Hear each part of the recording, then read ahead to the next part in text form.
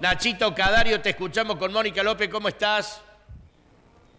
¿Qué tal, Pato Moni? ¿Cómo les va? Buen día, muy buen día para todos. Hace minutos el gobernador de la provincia de Córdoba, Juan Schiaretti, en Casa de Gobierno, entregó créditos del Banco de la Gente y dijo que es impresionante que cada vez más eh, gente, más cordobeses, se requieren la ayuda del Estado para solucionar algunos eh, problemas financieros y económicos de la casa. Y dijo que si mucha gente requiere de esta asistencia del Estado es porque es un fracaso el modelo del ministro de Economía, y con estas palabras dijo, el kirchnerista Sergio Massa. Escuchamos lo que decía el gobernador Juan Schiaretti.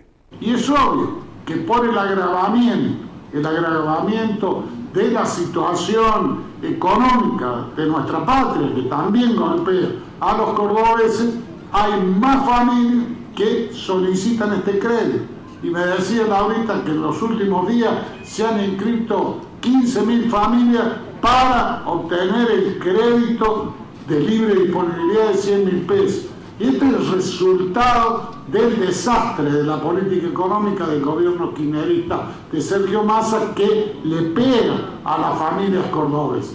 Pero Córdoba y su gobierno provincial no va a dejar solo a cada una de las familias que integran nuestras provincias. Por eso, si hay 15.000 inscritos, serán 15.000 créditos más.